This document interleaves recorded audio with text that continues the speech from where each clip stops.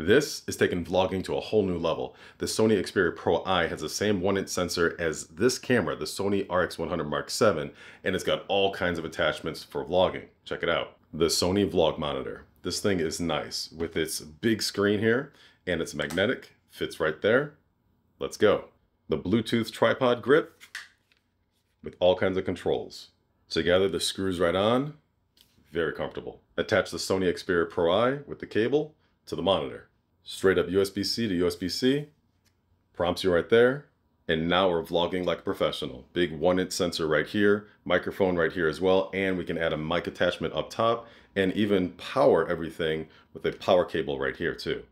So now I'm using the Sony Xperia Pro I with the Bluetooth grip, the three inch monitor, which is quite nice and large and very crisp, and the Rode video mic as well. And this is nice because I can zoom in. How you doing? Zoom out, and of course, stop this right now. So what do you think of the video and audio quality of this setup? The first half of this video was shot on the Samsung Galaxy S23 Ultra, and now this is the Sony Xperia Pro I.